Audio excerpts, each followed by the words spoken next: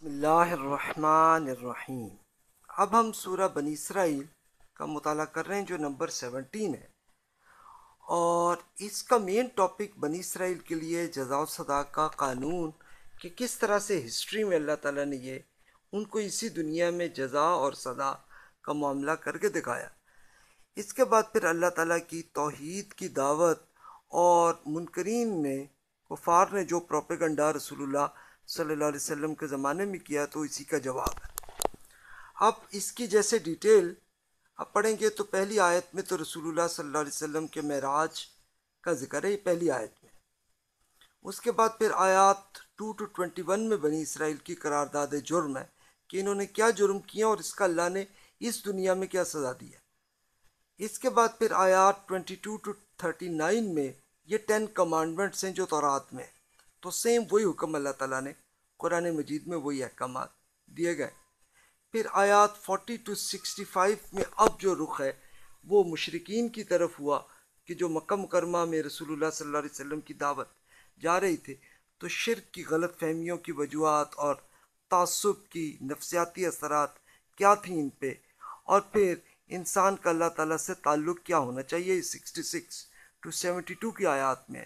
اور پھر seventy three two one hundred four تک میں اہل ایمان کو ایک کمپرومائز کرنے کی کاوش یہ خود منکرین نے کی تھی کہ بھی تم کمپرومائز کر کے آ جاؤ اور پروپیگنڈا کر رہے تھے۔ تو اللہ تعالیٰ نے پورا جواب دیا ہے اور پھر آخری آیات 105 ٹو 111 تک رسول اللہ صلی اللہ علیہ وسلم کا مشن اور ٹریننگ کے کچھ احکامات۔ ہیں تو یہ اب سلسلہ جو ہے اس میں آپ کے ذہن میں بہت سے سوال ہوں گے، آپ ای میل کر لیجیے گا یا میرا ای میل ایڈریس ہے۔ اور رسول اللہ صلی اللہ علیہ وسلم کے معراج سے ہی یہ معاملہ جو ہے پھر شروع ہوا۔ اور اس میں کیا کیا اللہ تعالیٰ نے پھر ارشاد فرمائے۔ تو ہم اب اسی کی اب ہم سٹڈی کرنے لگے ہیں کہ جس میں اب یہ معراج کیا تھی کہ رسول اللہ صلی اللہ علیہ وسلم کو اللہ تعالیٰ نے ایک پوری سچویشن کر کے دکھا دی گئی تھی، ایک پریزنٹیشن اس طرح سے اب اس کا کیا معاملہ ہوا تھا؟ کیسے یہ اللہ بہتر جانتا ہے؟ تو یہاں پہ اتنا حکم ہے، بسم اللہ الرحمن الرحیم، اللہ کے نام سے، جو سراسر رحمت ہے، جس کی شفقت ہمیشہ کے لیے۔ سبحان الذي اسرا بعبده ليلا من المسجد الحرام الى المسجد الاقصى الذي باركنا حوله لنريه من آياتنا انه هو السميع السميع البصير ہر عیب سے پاک ہے وہ ذات جو اپنے بندے کو ایک رات مسجد الحرام سے اس دور کی مسجد اقصا تک لے گیا، جس کے ماحول کو ہم نے برکت دی تھی دی ہے۔ تاکہ اس کو ہم اپنی کچھ ثبوت دکھائیں، بے شک وہی سننے اور دیکھنے والے۔ یعنی اب یہ رسول اللہ صلی اللہ علیہ وسلم کی ٹریننگ کے لیے یہی ہوا سلسلہ کہ اللہ تعالیٰ نے یہ کیا کہ رسول اللہ صلی اللہ علیہ وسلم کو مسجد الحرام سے مسجد اقصا ملے اب آپ اس کی سچویشن دیکھیں گے تو مکہ مکرمہ یہاں ہے اور اس کے بعد یورشلم میں یہ مسجد اقصا ہے۔ اقصا کا مطلب عربی میں بہت دور، تو دور کی مسجد اسے کہتے تھے۔ تو یہ آپ دیکھ لیجیے around fifteen hundred kilometre کے آس پاس ہے اور دوسرے روڈ سے جائیں تو نائنٹین ہنڈریڈ کلو میٹر ہے۔ تو اس میں پوری آپ اندازہ کر لیں کہ آپ اپنی گاڑی پہ سفر کر رہے ہو تو پندرہ گھنٹے کا ہے۔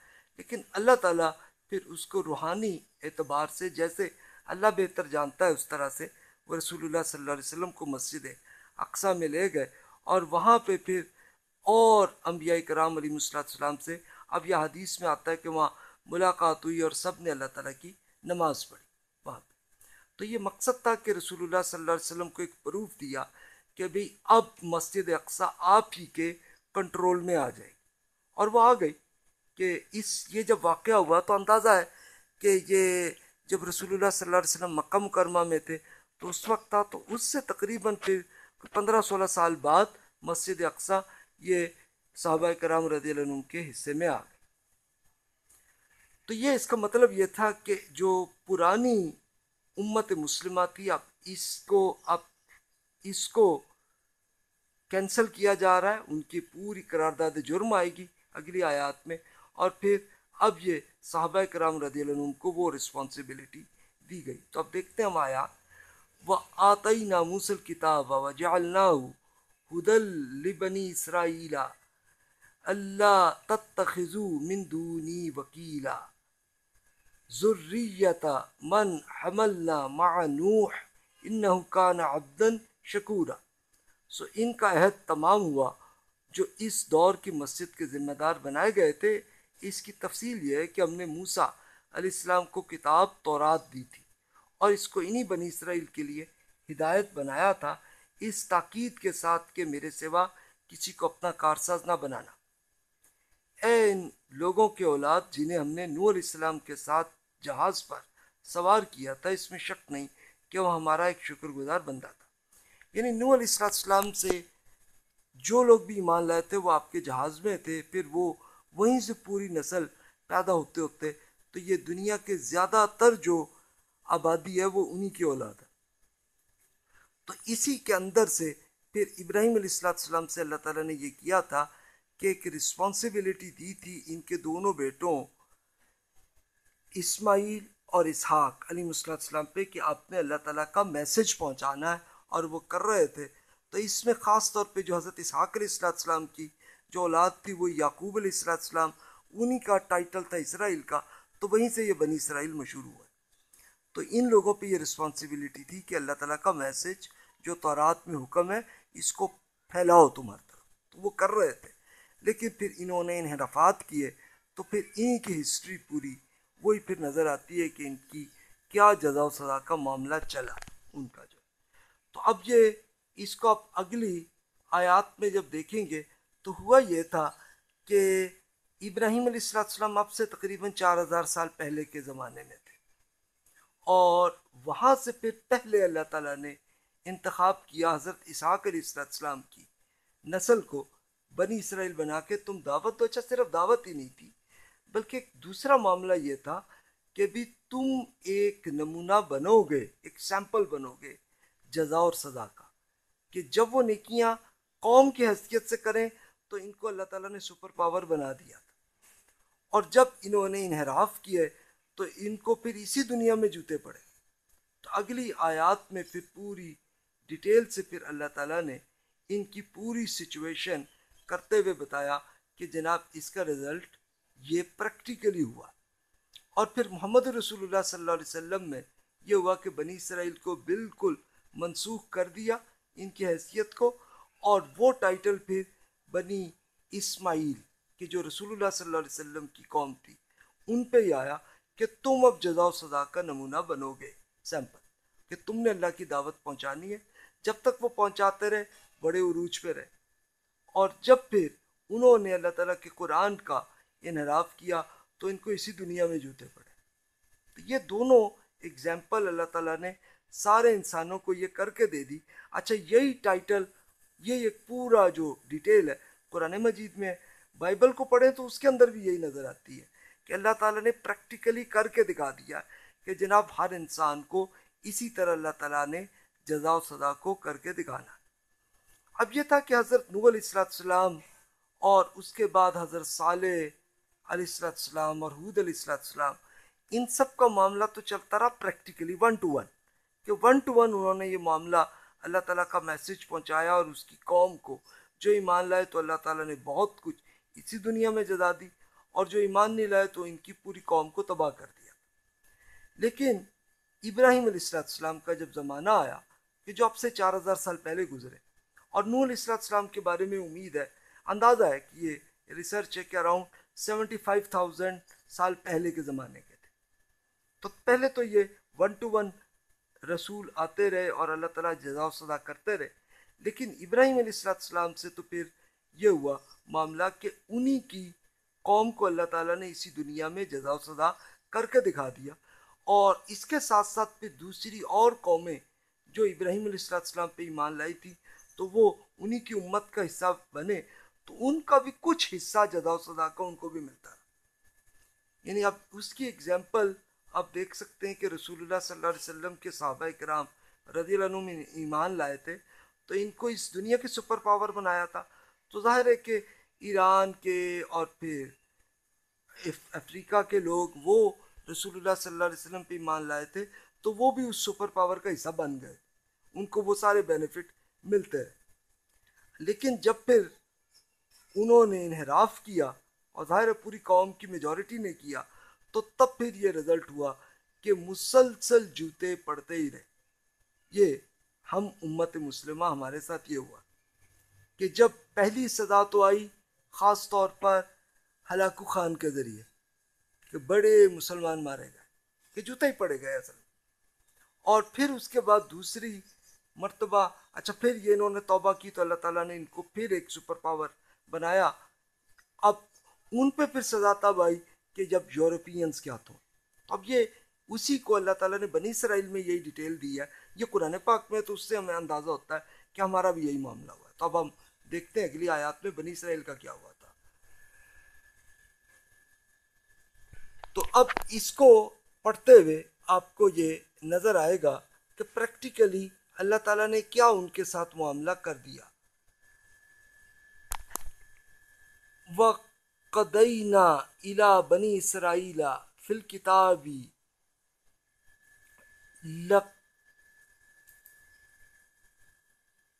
لَتُفْسِدُنَّ فِي الْأَرْضِ مَرَّتَيْنِ وَلَتَعْلُنَّ عُلُوًّا كَبِيرًا۔ بنی اسرائیل کو ہم نے اسی کتاب میں اپنے اس فیصلے سے آگاہ کر دیا تھا کہ تم ضرور دو مرتبہ زمین میں فساد برپا کرو گے اور بڑی سرکشی دکھاؤ گے۔ لہذا دونوں مرتبہ سخت سزا پاؤ گے۔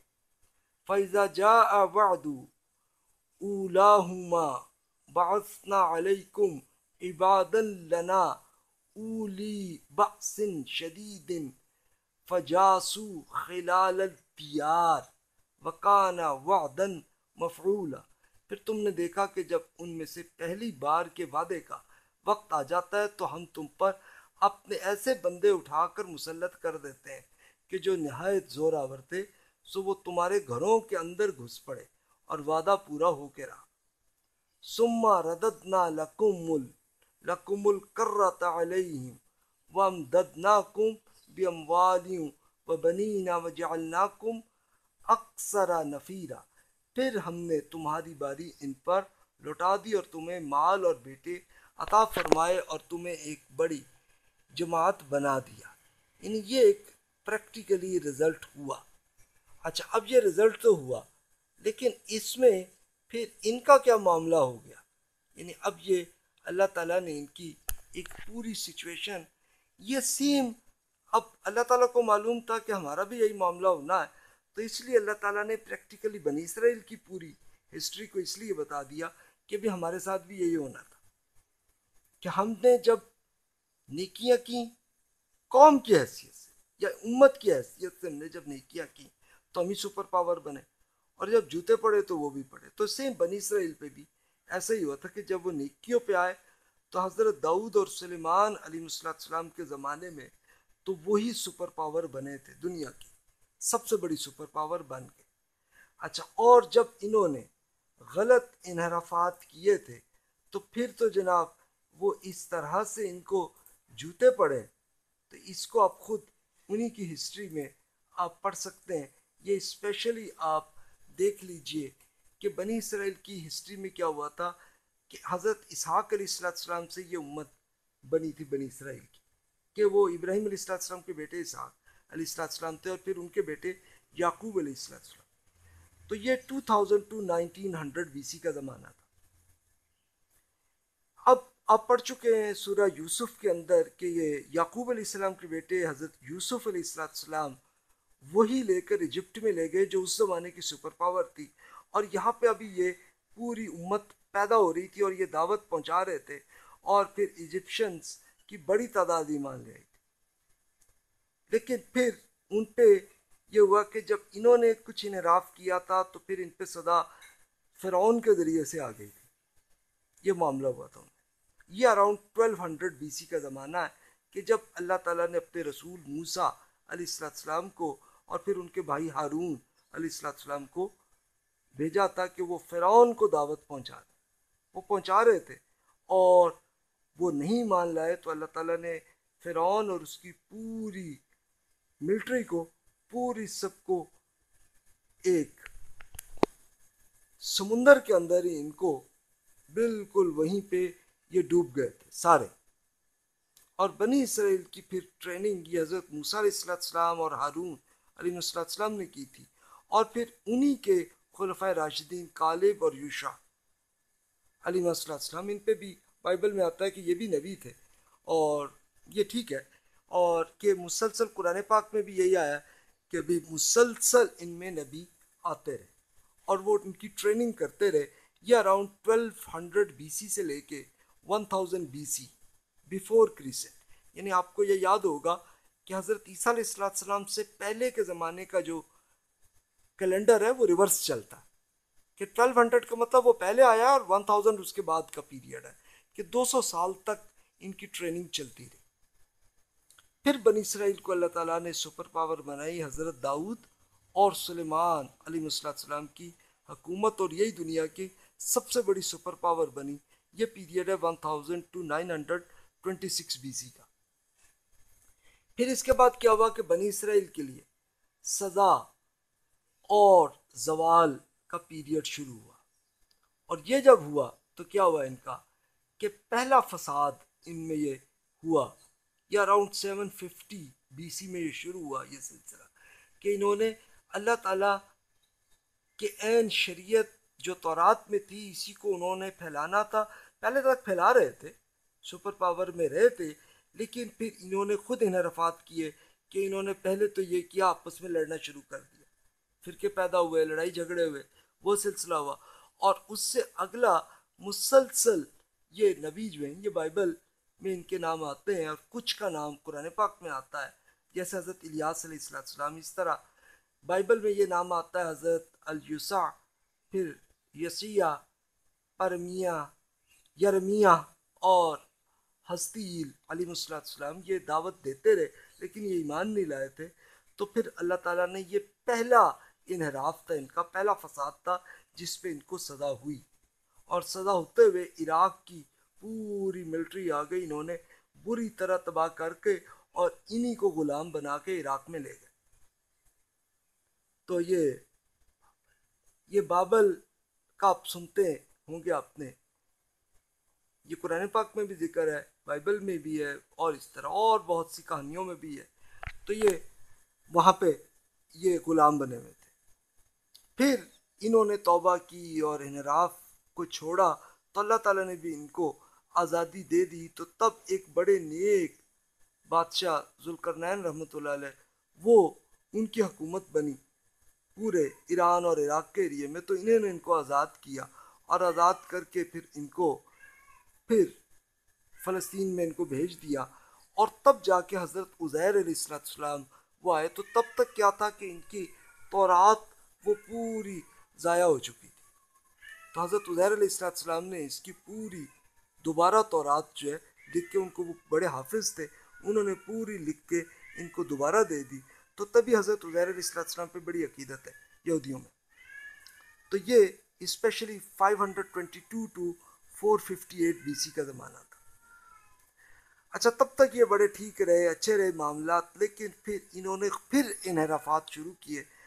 تو تب یہ ہوا تھا اسپیشلی کہ اب یہ گریس کے جو یونان کے لوگ، انہوں نے ان کو فتح کر لیا تھا۔ پھر اس کے بعد رومن امپائر وہ آ گئی تھی ان کو۔ انہوں نے پورا ان پہ قبضہ کر لیا تھا اور ان کو چلو انہی کے کچھ لوگوں کو ایک گورنر کے طور پر بنا دیا تھا کہ چلو جی جن کے رہے یہ معاملہ۔ تو تب یہ پھر فساد دوسرا ان کا شروع ہوا اور انہوں نے بڑے انحرافات اللہ تعالیٰ کے احکامات پہ کیے۔ تو پھر یہ حضرت ذکریہ یاہیا اور عیسیٰ علیہ السلام کی دعوت پھیلتی رہی۔ لیکن اس کا انکار کرتے رہے اور انہوں نے حضرت ذکریہ اور یاہیا علیہ السلام کو شہید بھی کر دیا۔ اور حضرت عیسیٰ علیہ السلام آخری رسول ان کی طرف آئے تھے اور ان کو بھی انہوں نے کوشش کی کہ آپ کو بھی شہید کریں، لیکن اللہ تعالیٰ ان کو پہلے ہی اٹھا کے پھر لے گئے اپنے پاس۔ اور پھر ان پہ یہ سیونٹی سی ای یعنی یہ آج کل کا جو کیلنڈر ہے، یہ وہ ہے کہ سیونٹی عیسوی کیلنڈر کے لحاظ سے یہ ان کا ہوا کہ ان پہ ایسی سزائی کہ رومن امپائر نے بری طرح تباہ کی۔ ہزاروں لاکھوں لوگ ان کے مارے گئے۔ خواتین کو انہوں نے غلام بنایا اور ان میں سے جو بچے تھے تو وہ بچ کے کسی طرح کسی طرح عرب علاقے میں آ کے وہ سیٹل ہو گئے تھے۔ کچھ قبیلے انہوں نے بنا دیے سیٹل ہوئے۔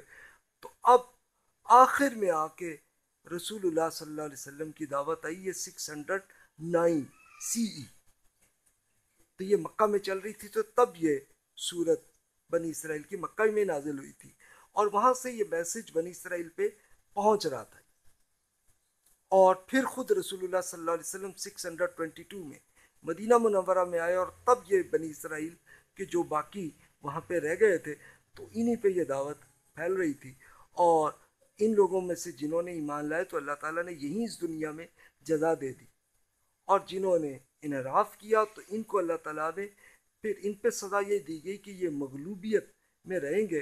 اور پھر یہ ہوا کہ ان کی ہسٹری تب سے اب دیکھیں کہ رسول اللہ صلی اللہ علیہ وسلم پہ جو ایمان نہیں لائے تو ان کو اسی دنیا میں مغلوبیت ملی اور پھر اس کے بعد مسلسل جوتے ہی پڑتے ہیں اور جو ایمان لائے تھے کہ جیسے حضرت عبداللہ بن سلام رضی اللہ عنہ اور پھر سیدہ صفیہ رضی اللہ تعالیٰ عنہ، یہ یہودیوں کے سردار کی بیٹی تھیں اور خود رسول اللہ صلی اللہ علیہ وسلم نے ان کو کہا کہ آپ چاہیں تو آپ کو آزاد کر دیں اور آپ چاہیں تو آپ شادی کر لیں۔ تو وہ خود ہی مان لے آئیں اور انہوں نے رسول اللہ صلی اللہ علیہ وسلم کی شادی کی اور پھر وہ امہات المومنین کی سٹیٹس کے لیول پہ آئے اور جتنے بینیفٹ ساری امہات المومنین کو ملی، سب ان کو ملی اور اسی طرح عبداللہ بن سلام رضی اللہ عنہ کا بھی یہ معاملہ تھا کہ وہ صحابہ کرام رضی اللہ عنہ کے اندر پارلیمنٹ کے وہ مین رسپانسبل آدمی تھے اور وہ ان کو پورا تورات بھی سکھاتے رہتے تھے، بتاتے رہتے تھے کہ یہ اللہ تعالیٰ کے احکامات ہیں اور پھر اس کے ساتھ ساتھ پھر یہ ہوتا تھا کہ پارلیمنٹ کے جب بھی کوئی ایک ڈیسیجن ہوتا تھا تو اس میں ان کا بھی حصہ ویسا ہی ہوتا تھا جیسے اور صحابہ کرام رضی اللہ عنہ کا، تو اس طرح کا سٹیٹس ان کا بھی رہا۔ لیکن جو ایمان نہیں لائے تو یہ مغلوبیت میں رہے۔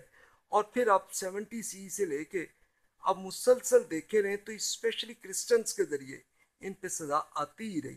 اور پھر اس کی ایک ایگزامپل آپ دیکھ سکتے ہیں نائنٹین فورٹی فائیو میں تو پھر ہٹلر کے ذریعے یورپی، یورپ میں جتنے یہودی رہتے تھے تو ان کو بڑی، بہت بری طرح تباہ ان کو کیا گیا۔ اور اس سے پہلے بھی اسپین میں بھی، جب تک تو وہ مسلمانوں کی حکومت رہی تو بڑے سکون میں رہے۔ لیکن مغلوبیت کی سزا میں ہی رہے، لیکن سکون میں رہے۔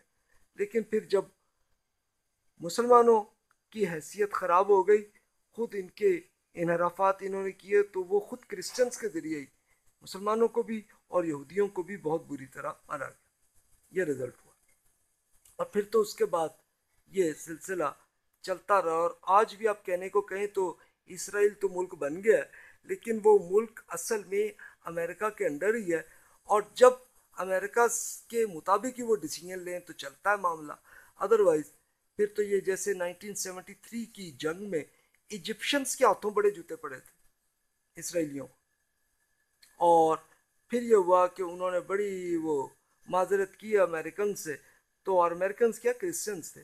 تو تب جا کے انہوں نے پھر اس جنگ کو ختم کروایا اور ان کو سیٹل کیا۔ تو دیکھیے کہ یہ ان کے مسلسل اگزامپل ہے سیم ہم لوگوں کی بھی یہی معاملہ ہوتا رہا ہے۔ تو دیکھیے کہ یہ ہے ہمارا ایک سٹیٹس رہا ہے۔ تو یہ بنی اسرائیل بھی یہی امت مسلمہ تھی، ان کا بھی یہی ہوا اور ہمارے ساتھ بھی یہی ہوتا رہا۔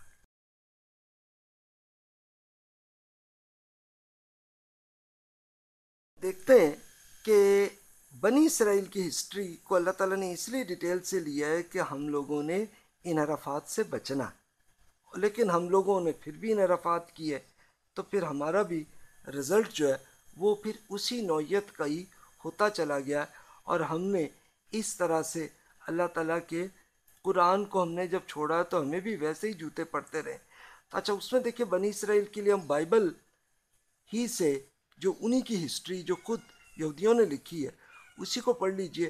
تو حضرت دعود علیہ السلام نے ایک پہلی وارننگ ان کو دے دی تھی۔ حالانکہ سپر پاور بنے ہوئے۔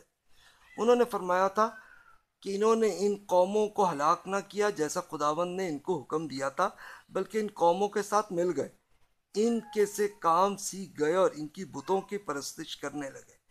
جو ان کے لیے پھندہ بن گئے، بلکہ انہوں نے اپنے بیٹوں کو شیاطین کے لیے قربان کیا اور معصوموں کو یعنی اپنے بیٹوں، بیٹیوں کو خون بہایا۔ ان سے، اس سے خداوند کا قہر اپنے لوگوں پر پھڑکا اور اسے اپنی میراث سے نفرت ہو گئی اور اس نے ان کی قوموں کے قبضے میں کر دیا اور ان سے عداوت رکھنے والے ان پر حکمران بن گئے۔ یعنی اب یہ زبور کے یہ ارشادات ہیں۔ آپ خود بائبل میں خود اب پڑھ لیجیے اس میں۔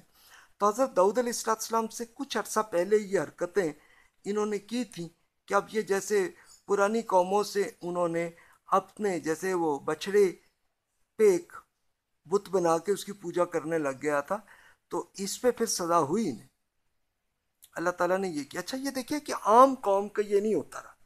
یعنی یہ خاص طور پر بنی اسرائیل پہ اللہ تعالیٰ نے یہ کیا معاملہ۔ اور وہ کیوں کیا؟ ہے تاکہ یہ پوری اور انسانوں پہ ایک یہ سیمپل مل جائے کہ بھی ہر انسان کو جزا و سزا کا معاملہ ایسا ہی ہونا ہے۔ تو ایک یہ پوری اگزامپل کے طور پہ اللہ تعالیٰ نے اس لیے کر دیا تاکہ کوئی انحرافات سے لوگ خود بچ جائے وہ دیکھ لیں اللہ تعالیٰ ایسے کرتے رہے۔ اچھا پھر حضرت یسیہ علیہ السلام کے زمانے میں یہ سیون ففٹی عیسوی سوری بی سی کا یہ زمانہ ہے۔ تو ان کے ارشادہ دیکھیے کہ کیسے انحرافات کیے تھے۔ سوچئے تو سیم ہمارے ہاں بھی ویسی غلطیاں ہم نے بھی کی ہیں۔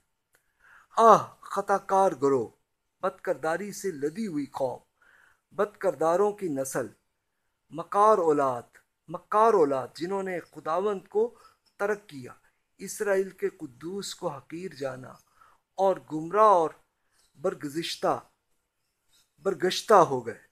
پھر کیوں زیادہ بغاوت کر کے اور مار کھاؤ گے؟ تمہارے سردار گردن کش اور چوروں کے ساتھی ہیں۔ ان میں سے ہر ایک رشوت، دوست اور انعام طلب ہے۔ وہ یتیموں کا انصاف نہیں کرتے اور بیواؤں کے فریاد ان تک نہیں پہنچتی۔ ان کی سرزمین بتوں سے بھی پڑ ہے۔ پھر اپنے ہی ہاتھوں کی صنعت یعنی اپنی ہی انگلیوں کی کاریگری کار کاریگری کو سجدہ کرتے ہیں۔ یعنی یہ حرکتیں کی ہوئی تھیں؟ انہوں نے بھی بہت سارے کچھ ایسے مزار بنا لیے تھے، وہاں پہ بھی سجدے کرنے لگے تھے۔ اور اس کے ساتھ ساتھ پھر انسانوں کے ساتھ بھی یہ حرکتیں کر رہے تھے کہ ایک یہ کرپشن بہت کامن ہو گئی ان کے ہاں پھر یہ رشوت یہ عام ہو گئی۔ یتیموں اور بیواؤں کی، یہاں ان کی جو جو کچھ ان کو ایک یہ پوری، ان کو اپنے یعنی باپ کے شوہر کی طرف سے جو ملتا تھا وراثت میں، اسی میں بھی یہ قبضہ کر لیتے ہوتے تھے، تو یہ حرکتیں تھیں۔ اور اللہ تعالیٰ کی حضور یہ کرتے تھے کہ مختلف مزاروں پہ، کئی بزرگوں کے سامنے جا جا کے وہاں پہ بھی عبادت کرنے لگتے تھے۔ یہ بائبل کے۔ اچھا سیم دیکھیں ہمارے یہاں بھی کئی لوگوں میں ایسی حرکتیں ہوئی ہیں۔ اور اسپیشلی اگر آپ ہسٹری میں پڑھیے تو سکس سیونٹی سکس ہجری یا عیسوی کیلنڈر میں دیکھیں تو ٹویلو ففٹی ایٹ عیسوی کیلنڈر اس زمانے کی آپ اپنی ہسٹری پڑھ لیجیے تو سیم وہی صورت آپ کو نظر آئے گی۔ سیم وہی سچویشن ہے اب دیکھیے کہ اسی کا رزلٹ ہوا ہے۔ میں اب بنی اسرائیل کی قرارداد جرم میں ان کی کیا جرم؟ اللہ تعالیٰ نے قرآن میں بتائیں تو اس کو دیکھتے جائیے تو پھر یہ اندازہ ہوگا کہ سیم ہمارے ہاں بھی یہی حرکتیں ہوتی رہی ہیں انا احسن تم احسن تم بھی انفسکم وین تم فلاح فائزہ جا وعد الآخرتی لیسوء وجوہکم ولیدخل المسجد کما دخلوه اول مرتیوں ولیتبروا ما علو تتبیرہ یہ تمہارے لیے سبق تھا کہ اگر تم اچھے کام کرو گے تو اپنے لیے اچھا کرو گے اور اگر برے کام کرو گے تو وہ بھی اپنے لیے کرو گے، یہ پہلا وعدہ تھا۔ اس کے بعد جب دوسرے ہی بار کے وعدے کا وقت آ جاتا ہے تو ہم اپنے کچھ دوسرے زوراور بندے اٹھا کھڑے کرتے ہیں، اس لیے کہ وہ تمہارے چہرے بگاڑ دیں اور تمہاری مسجد میں اسی طرح گھس پڑے جس طرح وہ پہلی بار اس میں گھس پڑے تھے۔ اور جس چیز پر قابو پائیں اس کو تہس نہس کر ڈالے۔ تو یہ اسپیشلی بنی اسرائیل میں رومن امپائر نے اس بری طرح ان کو تباہ کیا تھا۔ اور پھر تمہاری مسجد سے مراد یہ مسجد اقسا تھی کہ جس کو انہوں نے اپنا قبلہ قرار دیا تھا اور بہت عبادت وہاں کرتے تھے۔ ان کے لوگ تو پھر ہوا یہ کہ جن لوگوں نے ان کو فتح کر لیا رومن امپائر نے، یہ اٹلی کے لوگ تھے، تو انہوں نے مسجد میں بھی گھس گئے۔ اچھا سیم ہماری بھی ملتی جلتی سچویشن ہوئی ہے۔ جیسے بادشاہی مسجد آپ کو یاد ہوگی کہ یہ لاہور میں بھی ہے، اسی طرح دلی میں بھی ہے۔ تو جب اس پر دوسری قوم نے جب قبضہ کیا کہ جب ہم نے اصل میں انہیں رفات کیے تھے، تو پھر باقاعدہ انہوں نے گھوڑے اس میں مسجد کے اندر ڈال دیے تھے۔ تو یہ حال، ایک یہ پوری ہماری ایک بالکل حیثیت اس طرح خراب ہو گئی تھی۔ اصا ربکم این یرحمکم وین عدتم ادنا وجعلنا جہنم للکافرین حریصا اب بھی عجب نہیں ہے بنی اسرائیل کہ تمہارا رب ایک مرتبہ پھر تم پر رحم فرمائے، لیکن یاد رکھو کہ اگر تم وہی کرو گے تو ہم بھی وہی کریں گے اور جہنم کو تو ہم نے اسی طرح کے منکروں کے لیے باڑا بنا رکھا کہ باڑا جس طرح سے جانور جہاں رکھتے ہیں۔ اچھا اب دیکھیے کہ ان کی جو سچویشن ہوئی تھی، تو سیم سچویشن یہ اب بنی اسرائیل میں خاص طور پر میسج آ رہا تھا ان بنی اسرائیل، ان یہودیوں پہ کہ جو مدینہ منورہ میں اور خیبر اور کچھ ایریا میں عرب علاقوں میں تھے کہ رسول اللہ صلی اللہ علیہ وسلم کے ذریعے یہ میسیج ان تک پہنچ رہا تھا کہ بھائی ان پہ تم اگر اللہ تعالیٰ پہ اب یہ اپنے انحراف کو چھوڑ کے اللہ تعالیٰ پہ توبہ کر لو تو اللہ تعالیٰ تمہیں پھر بہتر کر دیں گے۔ کہ تمہیں، اب یہودیوں کا معاملہ یہ تھا کہ وہ چاہتے تھے کہ سپر پاور بنے ہم اور اس بننے کے لیے وہ یہی کہتے تھے کہ آخری رسول آئیں گے، وہ کر دیں گے۔ تو اب جب اللہ کے رسول جب آئے تو ان کو تعصب آ گیا کہ ہاں جی یہ تو بنی اسماعیل کے آ گئے یہ تو ہم میں سپر پاور کرنا چاہ رہے، آئے تھے۔ تو یہ ادھر اس میں آ گئے تو تبھی وہ رسول اللہ صلی اللہ علیہ وسلم پہ تعصب کرتے رہے۔ اور پھر اللہ تعالیٰ نے بہت وہی جوتے ان کو پڑے کہ خود رسول اللہ صلی اللہ علیہ وسلم کے ہاتھوں پھر مغلوبیت بن گئے۔ اور بنے تو پھر یا پہلے آپ مدنی صورتوں میں پڑھ چکے ہیں کہ خیبر میں کس طرح یہ ان کے سردار مارے گئے اور پھر باقی جو ہیں وہ خود انہوں نے سرنڈر کیا اور وہ ایمان لے آئے۔ کچھ تو ایمان لے آئے اور جو ایمان نہیں لائے تو چلو وہ بھی پھر ایک مغلوبیت کے ساتھ رہے۔ تو یہ ان کا سلسلہ ان کا ایسے ہی چلتا چلا گیا۔ تو رزلٹ ان کا یہی چلتا آیا ہے۔ اچھا اب آپ یہ دیکھیے کہ رزلٹ ان کا بھی آیا اور وہ چلتا رہا سلسلہ۔ اچھا اب پھر اللہ تعالیٰ نے یہ بتا دیا تھا کہ بھی تمہیں یہ وارننگ یہ آخری رسول کے ذریعے آ گئی ہے۔ اگر اس ان پر بھی ایمان نہیں لاؤ گے تو پھر تمہیں اسی طرح ہی جوتے، تمہیں مسلسل چلتے ہی چلے جائیں گے، چلتے ہی چلے جائیں گے۔ تو رزلٹ تمہارا یہ ہوگا۔ اب دیکھیے اگلی صورتوں میں ہم دیکھتے ہیں کہ پھر ان میں مزید اب بتایا گیا کہ اسی بیسس پہ ہر انسان کا ایسے ہی معاملہ ہونا ہے آخرت میں۔ لیکن دنیا میں اللہ نے بنی اسرائیل کو اور پھر بنی اسماعیل کو کہ محمد رسول اللہ صلی اللہ علیہ وسلم کی امت کو بھی۔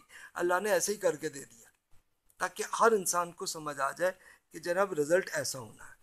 اب دیکھتے ہیں کہ اگلی آیتوں میں پھر اللہ تعالیٰ نے کیا ارشاد فرمایا تو اس میں صرف ترجمہ ہی پڑھ لیں تو سمجھ میں آ جائے گا۔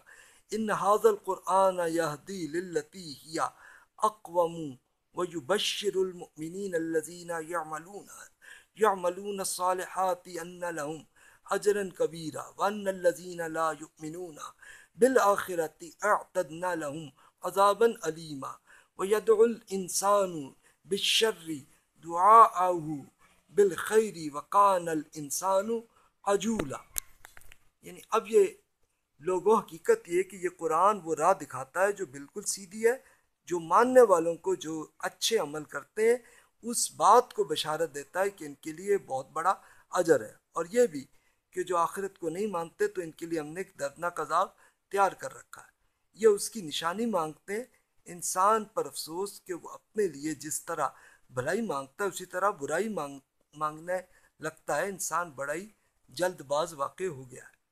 وجعلنا اللیل والنہار آیتین فمحونا آیت اللیل وجعلنا آیت النہار مبصرة لتبتغوا فضلا من ربکم ولتعلموا عدد السنین والحساب وكل شيء فصلناه تفصیلا۔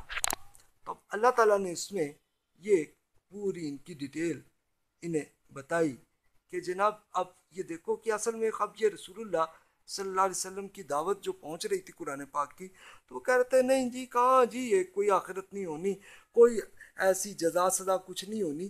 تو اللہ تعالیٰ نے کہا کہ دیکھو، یہ اگزامپل میں ہم نے اس دنیا میں کر دیا۔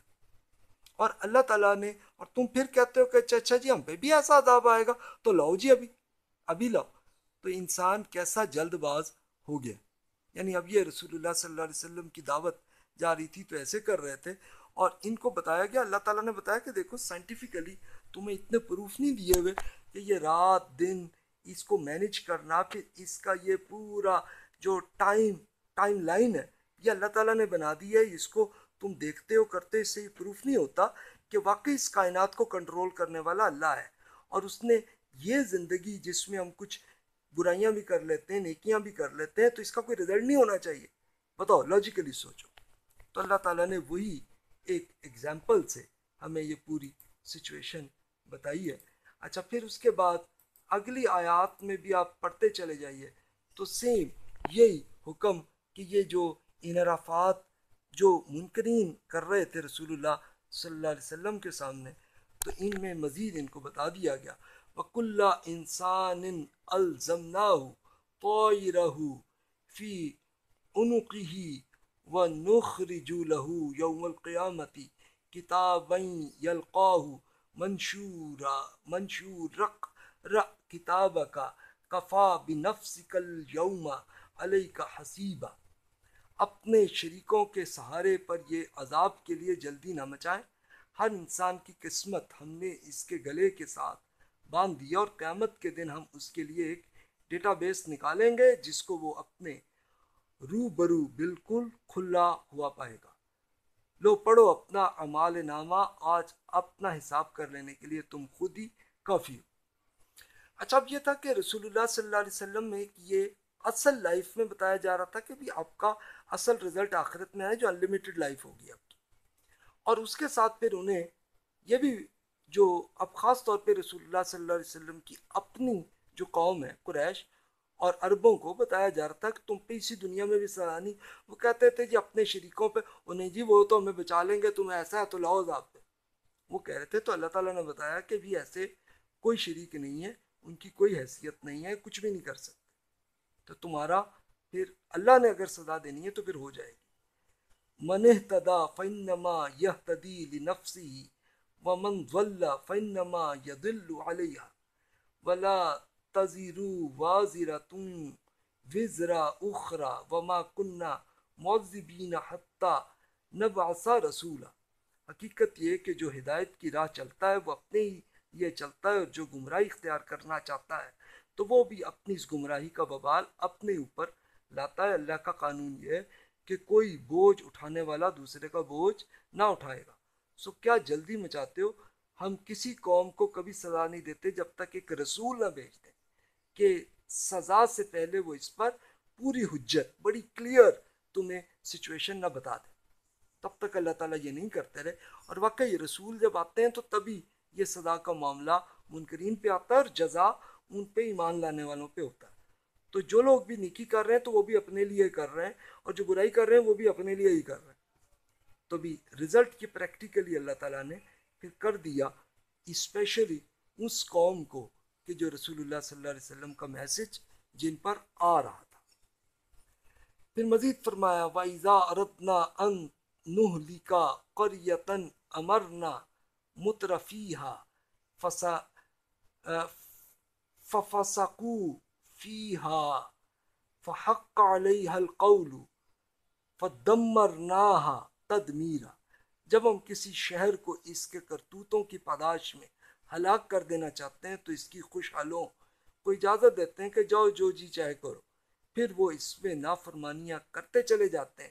تب اس شہر پر بات پوری ہو جاتی ہے اور ہم اس کو بالکل برباد کر کے رکھ دیتے یعنی اللہ تعالیٰ نے جب کن شہروں پہ اللہ تعالیٰ نے یہ پریکٹیکلی جزا صدا کو کر دیا تو اس میں پھر اللہ تعالیٰ نے ان کے جو لیڈرز تھے ان کو اتنی دے دیتے زیادہ ٹھیک ہے بھی جو حرکت کرنی ہے کرو۔ تو وہ کرتے رہتے۔ تو اب خود ان کو بھی رسول کے ذریعے پتہ چل جاتا تھا ہاں جی ہم یہ کر رہے ہیں غلط۔ اور پھر کہتے تھے، ٹھیک ہے جی پھر بھی کوئی ایسا عذاب نہیں آنا۔ اور پھر واقعی آ جاتا تھا کہ ان کو ایک یہ آ جاتا تھا سچویشن اب اللہ تعالیٰ نے وہی مثال دی۔ سب سے پہلے اللہ نے یہ کیا تب کم اہلکنا من القرون من بعد نوح و کفا بربی کا بجنوبی عبادی خبیرم بصیرہ دیکھ لو نو کے بعد ہم نے کتنی قومیں اسی طرح ہلاک کر دیں۔ اے رسول، اپنے بندوں کے گناہوں کو جاننے اور ان کو دیکھنے کے لیے آپ کا رب کافی ہے۔ تو یہ رسول اللہ صلی اللہ علیہ وسلم سے پہلے حضرت نو علیہ السلام حود صالح، ابراہیم علیہ السلام السلام پھر ان کے بعد لوت اور شعیب علیہ السلام پھر موسا علیہ السلام اور عیسیٰ علیہ السلام اور اس طرح بیچ میں بھی یہ سلسلہ، یہ جزا و سزا کا سلسلہ اللہ تعالیٰ نے کر دیا۔ اور اس کو پوری ہسٹوریکلی اتنا کلیئر کر دیا کہ اس میں کوئی یہ نہیں کہہ سکتے، ایسا کبھی نہیں ہوا۔ آپ ابھی بھی آپ جا کے مدائن سالے میں آپ چلے جائیے۔ تو حضرت صالح علیہ السلام کے پورے آپ کے قوم کے شہر آج بھی موجود ہیں۔ آپ چیک کر لیں۔ محمد رسول اللہ صلی اللہ علیہ وسلم کے معاملے کو آج آپ مکہ اور مدینہ میں چلے جائیں، جا کے دیکھ لیجیے وہاں سے یہ پورا ایویڈنس اتنا کافی ہے کہ اللہ نے اسی دنیا میں کر کے دکھا دیا کہ ہر انسان کو آخرت میں اللہ نے کرنا۔ من کان یرید العاجلتا اجلنا له فیہا ما نشاء لمن نرید ثم جعلنا له جہنم یصلاها مضموما مدحورا۔ ہمارا طریقہ یہ ہے کہ جو اس جلد ملنے والی دنیا ہی کو چاہتا ہے، اس کو ہم جس کے لیے چاہتے ہیں اور جتنا چاہتے ہیں، سردست یہی انہیں دے دیتے ہیں۔ پھر ہم نے اس کے لیے جہنم رکھ چھوڑی، جس میں وہ خوار اور رحمت سے محروم ہو کر داخل ہو جائے گا۔ یہ جتنے لوگ اتنی کرپشن کرتے ہیں اور جو معاملہ کرتے ہیں، تو اللہ تعالیٰ ان کو اسی لیے دینے دیتا کہ چلو جو تمہیں پسند یہی دنیا نا، تو لے لو چیزیں۔ اور اس کے بعد پھر اللہ تعالیٰ اس کے بعد مسلسل جہنم میں جوتے ان کو پڑھنا ہے تو جن لوگوں پہ ہم بڑا وہ روتے پیٹتے ہیں کہ جی فلاں لوگوں نے کرپشن کی اور یہ کیا، تو ان کو اللہ اسی لیے کرنے دیتا ہے کہ ٹھیک ابھی تم انجوائے کر لو۔ ابھی اس کے بعد پھر مسلسل جوتے تمہارے تیار ہیں اس کے بعد پھر مزید اللہ تعالیٰ نے آخرت کے رزلٹ کو اللہ تعالیٰ نے بتایا۔ یہ آخرت کا پریکٹیکلی اس دنیا میں اللہ نے کر کے دے دیا۔ اب جو ہسٹری کو پڑھ لیں، قرآن میں، بائبل میں، کچھ اور ہسٹری کی بکس پڑھ لیں، اس میں بھی یہی ہے۔ تو ویسے ہی ہوا، تو سیم یہی ہم لوگوں کا آخرت میں ہونا ہے۔ ومن اراد الآخرت وسعى لها سعيها وهو مؤمن فاولئك كان سعيهم مشكورا اور جو آخرت کو چاہتا ہے تو اس کے لیے کوشش بھی کرتا ہے۔ جیسی کوشش اس کے لیے کرنی چاہیے، وہ مومن بھی ہے اور یہی لوگ ہیں جن کی صحیح مقبول ہوگی۔ کہ صحیح کیا؟ کہ جو ایک ایفرٹ وہ کر رہے ہوں گے۔ نیکی کے تو اس کا رزلٹ اللہ کے ہاں موجود ہے ان کے لیے، جنت کا۔ کلن نمد ہاؤلائی و ہاؤلائی من عطاء ربک وما کان عطاء ربی کا محضورا محضورا ذر کیف فضلنا بعضهم على بعض وللآخرة اکبر درجات واکبر تفضیلا تمہارے رب کی بخشش سے ہم یہاں ہر ایک کو دیتے رہتے ہیں، ان کو بھی اور ان کو بھی۔ اور تمہارے رب کی بخشش کسی پر بند نہیں۔ دیکھ لو ان کے ایک کو دوسرے پر ہم نے کس طرح فضیلت دے رکھی ہے اور آخرت کے درجے اور اس کی فضیلت البتہ کہیں بڑھ کر ہے۔ یعنی یہ تو آخرت میں ہے اور اس دنیا میں بھی اللہ تعالیٰ نے پریکٹیکلی یہ کیا کہ بنی اسرائیل کی حیثیت کو بالکل کم کر دیا اور پھر محمد رسول اللہ صلی اللہ علیہ وسلم کی امت کو دنیا کے سپر پاور بنا بھی دیا۔ اور پھر اب ہماری امت جو ہے وہ جب تک نیکی پہ رہے تو سپر پاور رہے۔ جب پھر ہم نے انحراف کیا تو سکس ہنڈریڈ ففٹی ہجری آنورڈ اس ٹائم میں دیکھیں تو پھر کیسے جوتے پڑے ہمیں پھر اس کے بعد ہم نے توبہ کی تو اللہ تعالیٰ نے پھر سپر پاور بنا دیا رومن امپائر اسپیشلی ترکی کی جو امپائر تھی۔ بنی عثمانیہ، سلطنت عثمانیہ جسے کہتے ہیں۔ تو یہ دنیا کے سپر پاور بنے۔ اب یورپ کی یورپینس کی بکس کو پڑھ لیں۔ تو وہ سب سے بڑی سپر پاور اس وقت انہیں کو ہی سمجھتے تھے کہ بنی عثمانیہ جو ہیں، یہ اسپیشلی آدھا یورپ تو وہ فتح کر چکے تھے۔ تو یہ حیثیت تھی ان کی۔ لیکن پھر جب پھر دوبارہ ہم نے انحراف کیا تو پھر مسلسل جوتے کے یورپینس کے ہاتھوں ہم پہ آئی اور ہم پھر مغلوبیت کی صدائی ہم پہ رہی۔